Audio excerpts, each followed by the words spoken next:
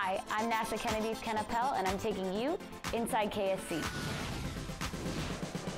NASA and the European Space Agency are working together to launch a mission that will study the Sun, its outer atmosphere, and solar winds. Solar Orbiter is scheduled to launch from Space Launch Complex 41 at Cape Canaveral Air Force Station in Florida on February 5th. The United Launch Alliance Atlas V rocket carrying the spacecraft on its journey to space will lift off at 11:27 p.m.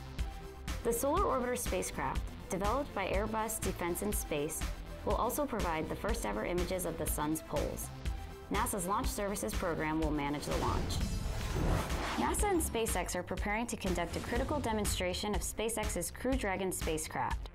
The in-flight abort test, scheduled for January 18th, will validate the spacecraft's ability to safely separate from a Falcon 9 rocket in the unlikely event of an emergency during flight. The test will take place at Kennedy Space Center's Launch Complex 39A in Florida. For the demonstration, SpaceX will configure Crew Dragon to trigger a launch escape shortly after liftoff. The test will provide valuable data toward NASA certifying SpaceX's crew transportation system for carrying astronauts to and from the International Space Station under the agency's Commercial Crew Program. It is one of the final major tests before NASA astronauts will fly aboard the spacecraft. And remember, Spaceport Magazine digs deeper inside KSC.